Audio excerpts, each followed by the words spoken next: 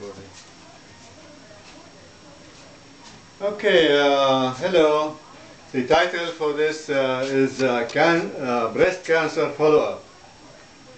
Well, I have some question about how doctors handle breast cancer. In this case, the, the patient or the person is a family member. She is uh, 45 years old who underwent uh, surgery for the, for the breast cancer two years back, followed by chemotherapy. Her brother, who is also a doctor, believed comfortable with, the, uh, with that system of treatment. He believed that she was receiving the best to offer. But when he told me that she had to see her doctor every six months, I asked why. Is her doctor did not do a complete job? Was he not sure that she was clear of cancer? Remember that the tumor was removed totally and the chemo was supposed to kill any bad cell that was missed, so to speak. My question is why the follow-up? Is it to see that the person or the patient is still alive? Remember, after chemo, some die because chemo is very toxic.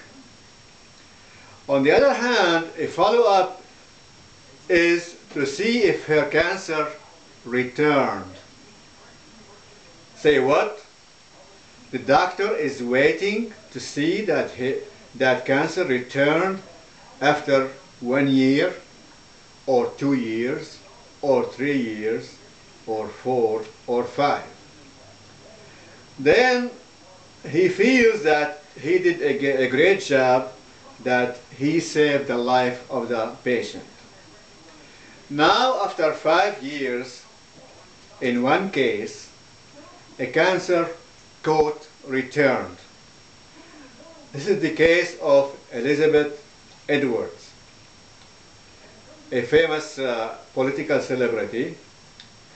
She had cancer six years back and now she returned, a year ago, she returned to, to the same doctors and they surprisingly returned to the same plan.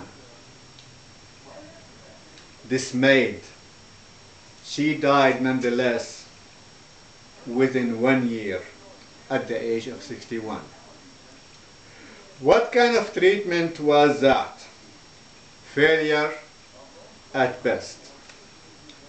If your doctor cannot give assurance after surgery, chemotherapy, radiation, and hormone pill, then something is in his in this plan is dead wrong. However, there is another approach to treat cancer by removing toxins from you. That plan is summarized as healthy living. It consists of organic vegetable juices, number one, number two, pure water, number three, pure air, number four is to be free of radiation. And that includes medical x-rays. I can expl explain more in the future about organic food and vegetable juices and about water and air uh, in the future.